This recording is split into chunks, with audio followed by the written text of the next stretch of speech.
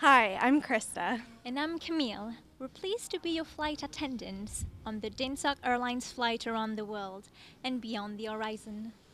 Dansoc Airlines is proud to announce that their first departure will be at 7:30 p.m. on Wednesday, the 2nd of May, from the Byre Theater. Flights will also be available on Thursday the 3rd and Friday the 4th at the same time from the same place. We can guarantee your comfort and safety during the full duration of each flight. So even if you are afraid of flying, don't let that prevent you from purchasing a ticket. You will be able to just sit back, relax, and enjoy the show.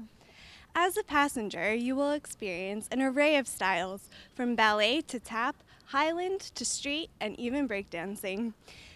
You will also get to visit a diverse range of places from Africa to Vietnam, the States, and even outer space. The Dance Society members, who will be your crew, have been working hard all year in preparation for this production and are excited to share their passion for dance with you. Let's have a look at some of the rehearsals, shall we? Yes, but first, a few words from the Dance Society president. Hi, I'm Alex. I'm the Dance Society president this year. We're an open society with about 200 members partaking in weekly classes. We have 18 classes covering 10 different dance styles. Um, we have a competitive dance team which competes at inter-university and world level, and you will be able to see them and all our classes partaking in the show.